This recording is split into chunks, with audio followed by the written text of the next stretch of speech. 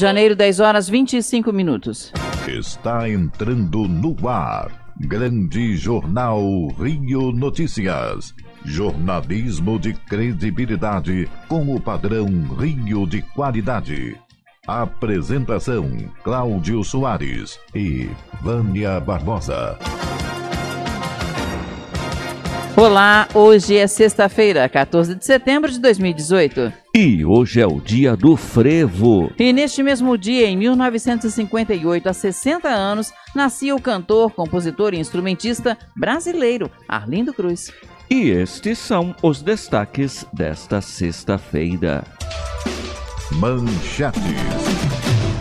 Prefeitura do Rio de Janeiro promove mutirão de desenvolvimento, emprego e inovação. Teatro Municipal do Rio pode ficar sem prédio anexo. Relatório aponta que oito em cada dez juízes no Brasil são brancos. Bandeira tarifária da conta de luz deve permanecer vermelha até o final do ano. Furacão Florence toca o solo da costa leste dos Estados Unidos. E as empresas produtoras de matéria-prima são ligadas a 27% do desmatamento permanente do mundo.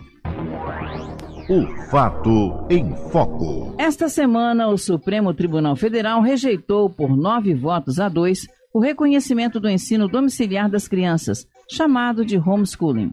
Para falar sobre os impactos sobre essa proibição e explicar como funcionaria esse método, conversaremos com a educadora Mônica Waldhelm. Bom dia, Mônica. Um prazer tê-la aqui no Grande Jornal e Notícias. Bom dia, ouvintes. Explica, por favor, para os nossos ouvintes como isso seria aplicado. Bem, é, essa, luta na justiça, ela já vinha ocorrendo, né? Algumas famílias já vinham realizando o homeschooling, aguardando a decisão do Supremo. E eu confesso que é, eu acho que foi de extremo acerto a decisão do Supremo em proibir o ensino domiciliar. Embora ele já seja é, aceito e regulamentado em alguns países, mesmo nos países onde ele é regulamentado, é, oficializado. Sim. Já há muitos estudos, muitas pesquisas em educação que mostram que é, os aspectos contrários, quer dizer, os aspectos negativos, superam em muito os que são apontados como positivos dessa prática. Ok. Então, na verdade, é até positiva essa decisão, mas as pessoas que já defendem esse método de ensino podem recorrer? Olha, eu não sei como vai me parece que depois que passou pelo Supremo não há mais possibilidade de recurso. Uhum. E o que havia, as pessoas, algumas já, já, tinham sido até notificadas, né, pelo o que eu vinha acompanhando na, na mídia, Sim. Que, que era uma situação temporária, mas que já deveriam se preparar caso o Supremo se manifestasse, né? Uhum. E eu acho que é extremamente positivo mesmo, é, por várias razões, né? Primeiro porque a escola não é só um lugar onde se aprende conteúdos formais. Né? Exato. Há uma, uma, um benefício dessa convivência com a pluralidade de pessoas, não só de professores, profissionais especializados em vários campos do conhecimento, né, na parte pedagógica, na parte específica, mas a diversidade humana. Né? É, algumas famílias alegam que, que o ensino domiciliar eles podem é, dar aos seus filhos uma, uma vivência com valores próprios, mas isso também é preocupante Digamos que uma família é, defenda como valor o racismo, a homofobia, Sim, é a misoginia. Né? Então é preciso que essa criança tenha um lugar para conviver, que é a escola, onde isso seja pensado de outra maneira. Então, é, não se trata de ah, a escola está ruim, a escola está massificada, vamos brigar para que a escola fique boa. Melhore, vamos né? brigar né? é para que o Estado invista nessa escola, na formação de professores, e não em tirar o aluno dessa possibilidade tão rica de convivência humana que é a escola. É verdade. É, batalhar por um ensino público de grande qualidade Sim. também, né? Eu acho que esse é um grande incentivo. É interessante essa postura, porque até então vínhamos tendo notícia que Estados Unidos, Inglaterra, França, que adotam essas práticas, uhum. vários países, estavam com um fato positivo, mas a senhora aponta que não, na verdade. Sim. É eu acabei até disso. de ler um, um, artigo falando de Portugal, onde também existe o homeschooling, dizendo que, é, de início, assim, uma parte das famílias que queria tirar os seus filhos da escola era uma, era uma prática assim, de contracultura. Na realidade, seria uma coisa assim, mais, vamos dizer, progressista, porque achavam que a escola pública estava massificando, né? E uma outra parte é o extremo oposto, assim. É, hum. Claro que há nuances, né? Seriam Sim. aquelas famílias muito religiosas, muito conservadoras, e que queriam mesmo é, criar seus filhos numa, num ambiente mais controlado. Mas veja, é, há necessidade de uma certa tutela do Estado sobre a família e sobre a criança. Exato. A gente tem casos de crianças que são abusadas, crianças que, so, que trabalham infantil. É, você vê vacina. Exato. Tem gente que resolve não vacinar os filhos, Muitas. expondo seus filhos aos riscos e toda a população por conta da, da circulação dos vírus, né? A gente vê sarampo voltando porque as pessoas não vacinam seus filhos. Exato. O pólio batendo na nossa porta depois de tantos Também. anos. Então, é complicado. Eu até entendo, porque eu tenho uma grande amiga que ela tem um filho com necessidades pedagógicas especiais e que vai rodando de escola em escola, escola pública, privada. Ela ficou muito frustrada com a decisão do Supremo, porque ela disse que talvez o ensino domiciliar fosse uma saída para ela, porque ela sente o filho sendo rejeitado nas escolas. Uhum. Mas aí o que acontece? Eu acho que também esse recurso agora, como o Supremo proibiu de fato essa prática, isso deveria ser dar mais força a esses pais que não se sentem acolhidos de brigar na justiça, olha, eu não posso dar o ensino em casa. Então vocês têm que dar conta, a escola tem que ser de fato inclusiva. É verdade. Por muito tempo as pessoas, principalmente a classe média, achou como podia pagar a escola, eh, abandonaram eh, o seu olhar sobre o ensino público. É, mas E com a crise, né, muitos deixaram de poder pagar a escola privada. ele tem que ser Escolas revisto, né? Muitas vezes são muito piores em condições do que a escola pública. A escola pública, por exemplo, os professores são todos habilitados, Exato. né? Então agora é preciso que a, gente- a sociedade retorne o seu olhar para a educação. Acho que sim. É, cobre essa valorização dos professores, o, né, o investimento, os nossos impostos né, nesse tipo de investimento. Ok. Obrigada, Mônica Waldham. Ah, foi um prazer, eu que agradeço a oportunidade. E volte mais vezes. aí a, a abertura para esse, esse, esse tema tão importante para a sociedade. É muito importante, sim, e eu espero que a partir de agora um novo olhar para o ensino público seja feito, ok? Ah, também Obrigada. espero. um bom dia. Bom dia para vocês todos. Falamos com a educadora Mônica Waldhelm. Grande Jornal Rio Notícias. Locais. A ação do Rio Ônibus para suspender a lei que exige a volta dos cobradores no município foi negada pela Justiça. Para a medida valer, a Prefeitura precisa fazer uma regulamentação. A sentença foi proferida em 17 de agosto, mas a Prefeitura e o Rio Ônibus afirmam que ainda não foram notificados. O TJ Rio informou que não cabe ao Judiciário fixar prazo para a Prefeitura agir e não esclareceu se já notificou as partes. A Secretaria de Transportes não respondeu quando vai fazer a regulamentação.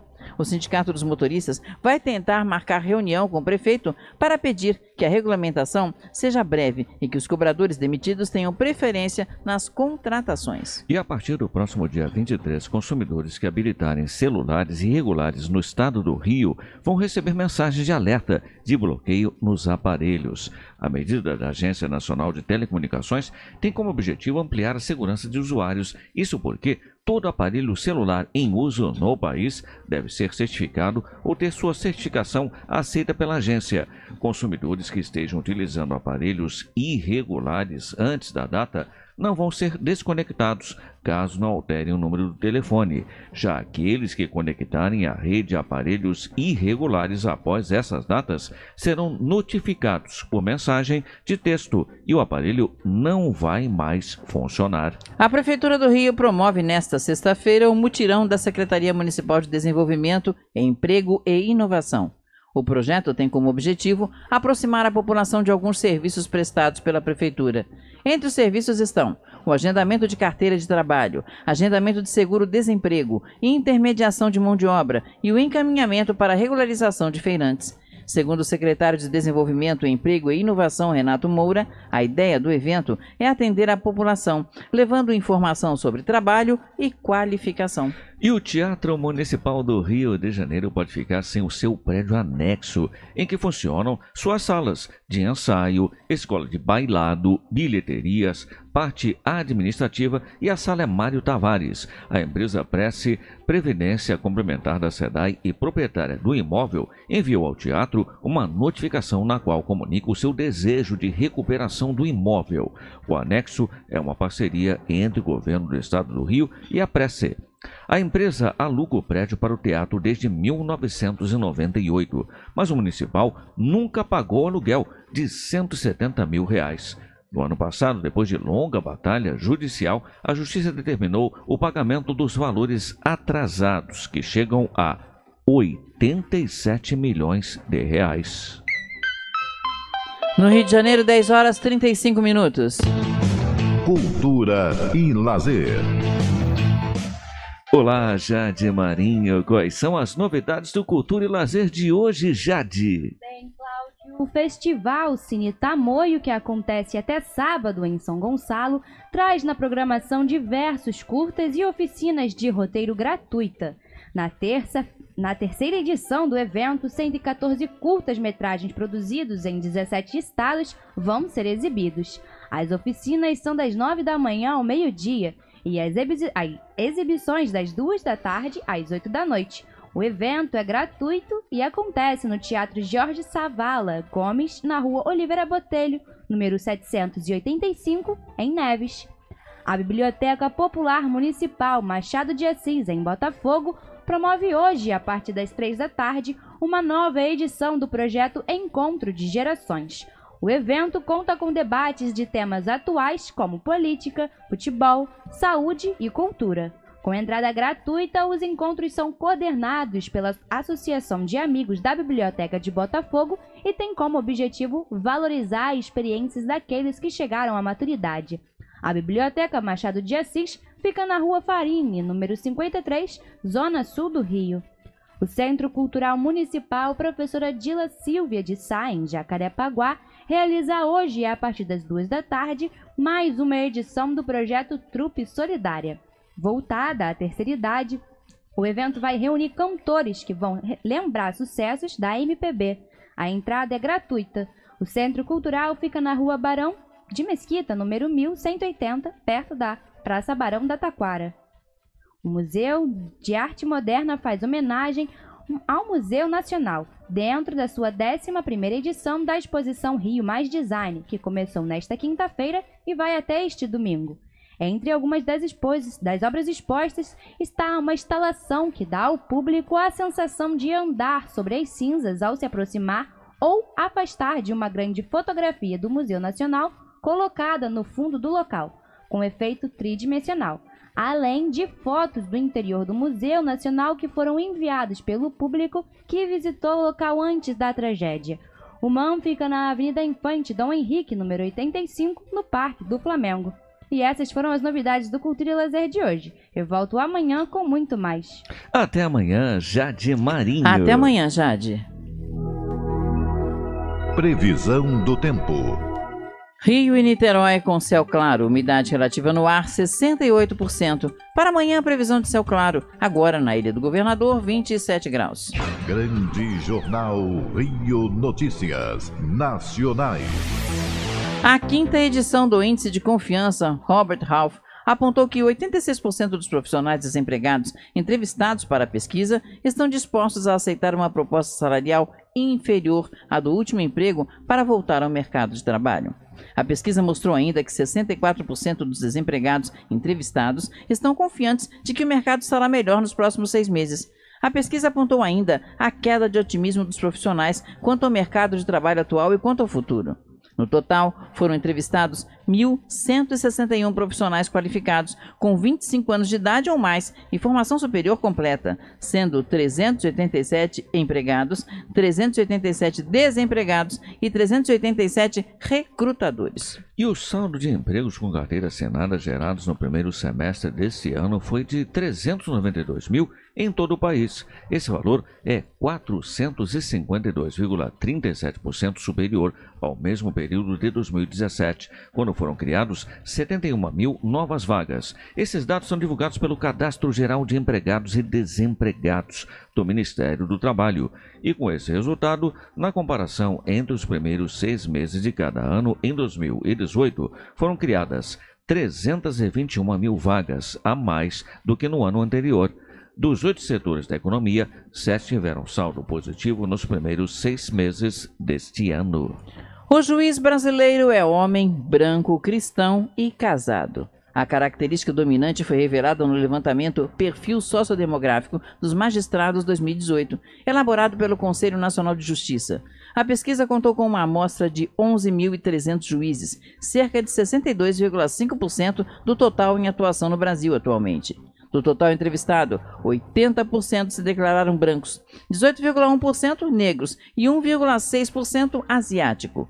Entre os negros, 16,5% se disseram pardos e apenas 1,6% se autodeclararam pretos. Na última edição da Pesquisa Nacional por Amostra de Domicílios Contínua, divulgada em novembro do ano passado, os negros representavam 54,9% da população brasileira.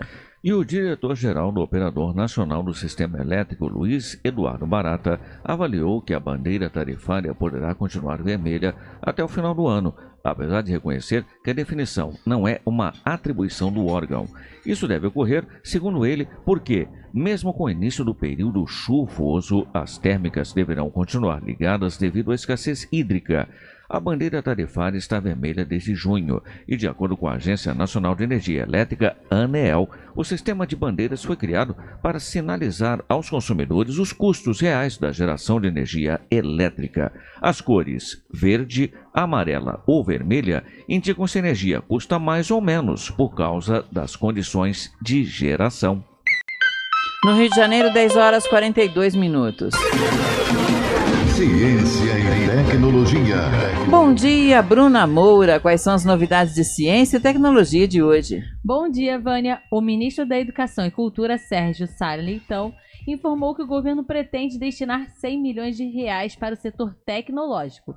O objetivo é investir mais em linhas estratégicas de desenvolvimento e produção de jogos, desenvolvimento e produção de conteúdo em realidade virtual e realidade aumentada, lançamento lançamento de jogos, aceleração de empresas, além de mostras e festivais de tecnologia, informação e capacitação. Uma empresa de pesquisa avaliou como será o comportamento dos consumidores no período entre a Black Friday e o Réveillon. De acordo com o levantamento, a maioria das pessoas vão realizar suas compras através do smartphone. O aparelho móvel vai ser utilizado mais do que qualquer outro dispositivo para realizar pedidos em lojas virtuais. A estimativa é de que a receita proveniente das compras até o fim fim deste ano deve crescer 13%, sendo que 35% desse faturamento deve ser gerado por recomendações via inteligência artificial. Um levantamento feito pela Organização das Nações Unidas apontou que o Brasil é o maior produtor de lixo eletrônico de toda a América Latina. A pesquisa analisa e avalia todo mundo a quantidade de sujeira criada a partir dos smartphones, computadores e outros itens usados relacionados à tecnologia. O Brasil produz por ano uma tonelada e meia e ocupa a posição de número 7 como o maior produtor de lixo eletrônico do mundo. Apenas 3% desse montante é despejado de forma adequada. Devido ao momento eleitoral que o Brasil está passando este ano, a página de buscas Google lançou na última quinta-feira uma página especial dedicada às eleições brasileiras. Dentro da sessão, a empresa publicou informações sobre o interesse dos brasileiros e aponta dúvidas mais frequentes da população a respeito do cenário político. Segundo o site de pesquisa, a pergunta mais feita na plataforma até o momento é como anular meu voto, em seguida, como justificar o voto, o que acontece se eu não votar, em quem votar em 2018 e, por último, o que é democracia. A ferramenta Trends Google possibilita ainda ver quais os candidatos à cadeira do Planalto que geram maior interesse dependendo da regionalidade e outros aspectos. E encerro as notícias de ciência e tecnologia de hoje. Eu volto amanhã com muito mais novidades. Até lá! Até amanhã, Bruna Moura. Até amanhã, Bruna. Grande Jornal Rio Notícias. Em dia com a economia. E as cadernetas de poupança com aniversário hoje rendem 0,5000%, dólar no câmbio comercial R$ 4,1862 para compra e R$ 4,1869 para venda. O euro no câmbio comercial cotado a R$ 4,8941 para compra e R$ 4,8966 para venda. Valor do salário mínimo 954 reais, e a inflação de agosto medida pelo IGPM, Índice Geral de Preços do Mercado, foi 0,7% e a Bovespa opera em alta de 0,11%. Grande Jornal Rio Notícias. Internacionais. O presidente da Turquia, Recep Tayyip Erdogan, e seu colega do Cazaquistão, Nursultan Nazarbayev, assinaram nesta quinta-feira em Ankara cinco acordos bilaterais para estreitar a cooperação política e econômica entre ambos os países. Nazarbayev, que chegou hoje a Ankara acompanhado de vários ministros, foi recebido com honras militares no Palácio Presidencial e se reuniu com Erdogan antes da assinatura dos cinco documentos. Além disso, os dois assinaram um convênio sobre novas sinergias econômicas para o período 2018-2020, outro para criar centros culturais e um acordo em matéria agrícola. O governo do México negou nesta quinta-feira ter aceitado ou assinado documentos relacionados com uma proposta dos Estados Unidos de fazer repasses de dinheiro para que o país aceite repatriar imigrantes. Em comunicado conjunto, as secretarias de Governo e Relações Exteriores do México comentaram a divulgação pela imprensa da notificação que foi enviada pelo Departamento de Estado dos Estados Unidos ao Congresso sobre os repasses desses recursos para o país vizinho. A proposta seria para que o México aceitasse repatriar imigrantes de outros países que estão no território norte-americano. O olho do furacão Florence tocou o território americano no estado da Carolina do Norte na manhã desta sexta-feira. De acordo com as autoridades, apesar de chegar rebaixado à categoria 1, ele deve provocar enchentes catastróficas e trazer as tempestades mais fortes a atingir a região em três décadas. Segundo o Centro Nacional de Furacões, o Florence atingiu os Estados Unidos às 8h15 da manhã, no horário de Brasília, perto de Wrightsville Beach, e com ventos de até 150 km por hora. Cinco estados declararam estado de emergência: Carolina do Norte, Carolina do Sul, Geórgia, Maryland e Virgínia, além da capital, Washington. Às 7 da manhã, pelo horário de Brasília, pouco antes da chegada de olho do Florence, a Carolina do Norte tinha mais 321 mil endereços com falta de luz. E a perda permanente de uma em cada quatro árvores no mundo está ligada às companhias de commodities. Um estudo inédito publicado pela revista Science aponta que o uso da terra por essas empresas é responsável por 27% de todo o desmatamento. Há 15 anos, o nosso planeta perde 5 milhões de hectares de florestas todos os anos. Três Alemanhas foram desmatadas nesse período apenas devido a essas empresas produtoras de matéria-prima. E a pesquisa mostra que, apesar de diferentes compromissos firmados, a taxa de desmatamento criado por essas companhias se manteve estável. No Rio de Janeiro, 10 horas 48 minutos. Giro de repórteres. Fome no Brasil atinge mais de 5 milhões de pessoas e o repórter Igor Brandão tem mais informações. A Organização das Nações Unidas para Alimentação e Agricultura e um grupo de agências da ONU revelaram nesta semana que a fome no Brasil não avançou. Os pesquisadores estimam que em 2017, cerca de 5 milhões e 200 mil brasileiros passavam fome, o que corresponde a 2,5% da população. O relatório indica que as principais causas do aumento da fome no mundo são os conflitos e os fenômenos climáticos em constante alteração. Em 2012, o número de brasileiros que se enquadrava nesse recorte eram 5 milhões. O ponto mais baixo foi atingido em 2010, quando menos de 4,9 milhões de brasileiros eram considerados famintos. De acordo com o professor e cientista social Newton Gomes, a população está entregue à fome e a causa pode ser explicada por alguns fatores começa na destruição do meio ambiente, na transformação da, da, comida em uma mercadoria comum, nas guerras e disputas movidas pelos interesses do capital e, por fim, um processo de crise desemprega e empobrece milhões e milhões de pessoas. A soma disso tudo não poderia produzir uma outra coisa senão a volta da fome. Por outro lado, o estudo revelou também que mais de 30 milhões de pessoas estão obesas. De acordo com Newton Gomes, isso é resultado da alimentação barata e sem acréscimo algum na nutrição. A relação entre o preço e a, o preço da, da comida e a disponibilidade de renda é tão negativa para eles que eles são obrigados a recorrer a esses alimentos ultraprocessados, a alimentos fortemente industrializados com percentuais muito altos de, de artificialização. Os dados mundiais são de 821 milhões de pessoas em situação de fome, um aumento de 6 milhões desde 2016. A América Latina e o Caribe acompanham o crescimento da subalimentação, chegando a 3,3 milhões de pessoas sem ter o que comer. Reportagem Igor Brandão. Cartão de crédito e crediário foram as modalidades que mais endividaram os brasileiros no último ano. Mais informações com a repórter Cíntia Moreira. Uma pesquisa da Confederação Nacional de Dirigentes Logistas e do Serviço de Proteção ao Crédito mostra que 58% dos consumidores que recorreram ao crediário no último ano ficaram negativados por atrasar prestações e 48% dos usuários de cartão de crédito por não pagarem a fatura.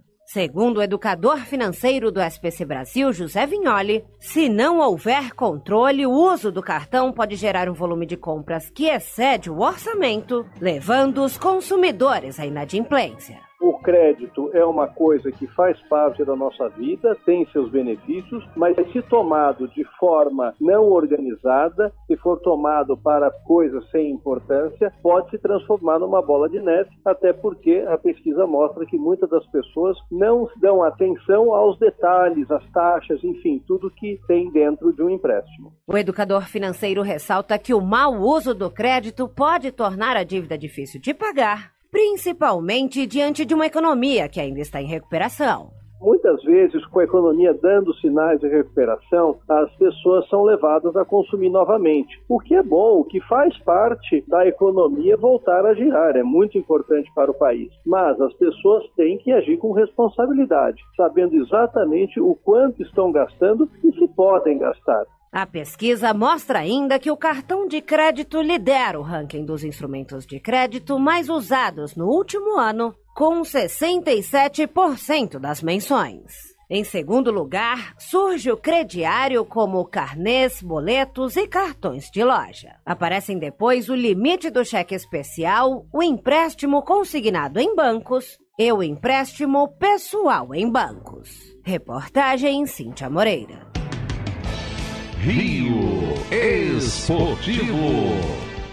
Olá, Adriano Dias. O Vasco iniciou o clássico contra o Flamengo na zona de rebaixamento, Adriano. Pois é, Claudio Soares, bom dia para você. Olá, bom dia. bom dia. Uma ótima sexta-feira para quem acompanha o Grande Jornal. Como se não bastasse toda semana que o Vasco encarou, depois de uma derrota para a equipe do Vitória da Bahia, teve protestos em São Januário, jogador Uhum. pedindo rescisão de contrato, jogador importante, que é o caso Puxa. do Wagner. Para completar, ontem o- a equipe da Chapecoense derrotou o Atlético Paranaense por 2 a 1 Essa partida que valeu pela vigésima rodada, ela foi adiada por condições climáticas. E esse resultado tirou a Chapecoense da zona de reba- de rebaixamento e colocou o Vasco da Gama. Ou seja, o Vasco inicia o clássico de amanhã contra o Flamengo às 7 horas da noite em Brasília, já no Z4. Então, se precisava de uma vitória já era fundamental, agora tem que ser essencial, de extrema importância, vencer esse jogo de amanhã para tentar pelo menos sair dos quatro últimos colocados e ganhar uma sobrevida, não só o time do Vasco, mas também o técnico Alberto Valentim, que até agora não venceu. Quatro jogos, quatro derrotas. E para completar, para essa partida, o Vasco vai ter uma série de desfalques. O Vasco já não vai ter o Wagner, como a gente já abordou aqui. O Iago Pikachu e o De Sábato estão suspensos. O Iago Pikachu foi expulso diante do Vitória. O De Sábato tomou o terceiro cartão amarelo. E para completar ainda, o retrospecto do Vasco em Brasília não é nada bom. Nada bom. 11 partidas, foram apenas uma vitória do time do Vasco da Gama. Na verdade, foram é, 11 vitórias, uma vitória, Uhum. melhor dizendo, cinco derrotas e cinco empates. O Vasco só Nossa. venceu o Vila Nova quando ainda disputava a Série B do Campeonato Brasileiro. Não bastasse todo. É é claro que o retrospecto não entra em campo, mas se não bastasse todas esses, essas adversidades que o Vasco acolheu, né, colheu nesses últimos dias, ainda tem que encarar esse retrospecto nada bom lá no estádio Mané Garrincha para tentar quebrar essas. Também com um clássico com o Flamengo, que é de extrema importância vencer. O Flamengo, que se perder para o Vasco da Gama, também pode ter uma situa- sua situação bem complicada lá, porque o Flamengo está na quarta posição, precisa vencer para encostar nos líderes e um empate, uma derrota, significa a proximidade dos adversários que estão embaixo, o Grêmio, o Cruzeiro. Então o Flamengo precisa também vencer. O Vasco então não tem uma situação nada fácil. Em relação ao time do Flamengo, o técnico Maurício Barbieri pode ter o retorno do, Rodi, do Rodinei, que tá, atuou bem contra o Corinthians. O Marcos Moreno, que é o problema, porque ele saiu lesionado no jogo contra o Corinthians.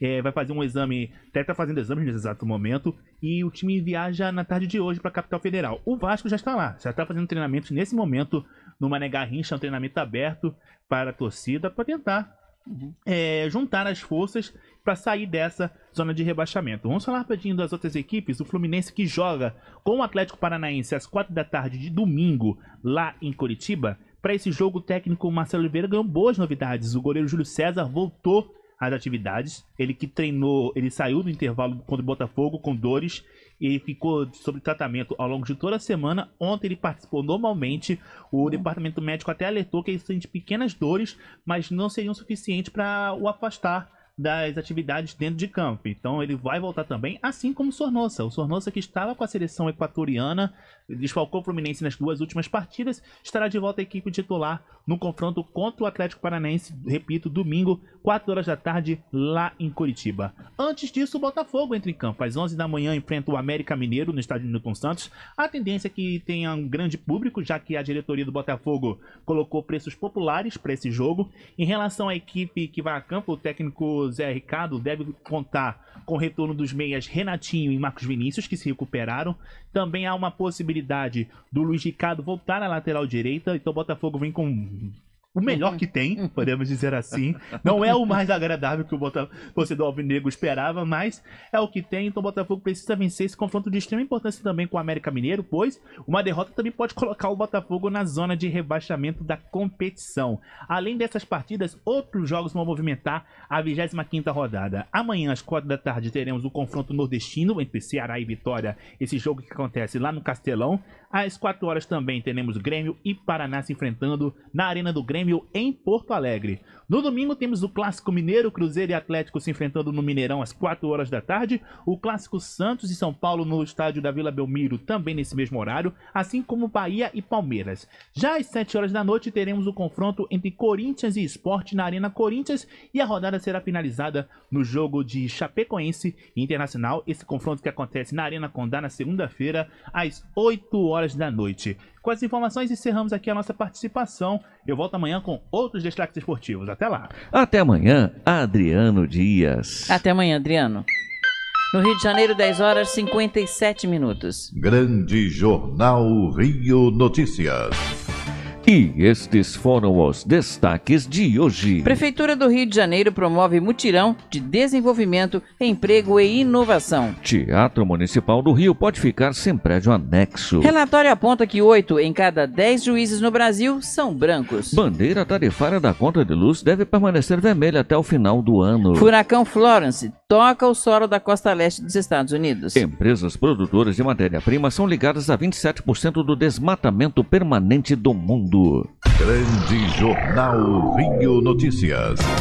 A apresentação Cláudio Soares. E Vânia Barbosa. Reportagens Igor Brandão. Cíntia Moreira. Aline do Vale. E Ana Clara Arantes. Redação Adriano Dias. Bruna Moura. E Jade Marinho. Na técnica Fabrício Ferreira. Coordenação de jornalismo Lohane Alvim. E você pode conferir o Grande Jornal Rio Notícias de hoje no canal da Rádio Rio de Janeiro no YouTube. E sigam ouvindo a nossa programação. A seguir, você acompanha o Clube da Fraternidade. Apresentação Cristiano Moreira.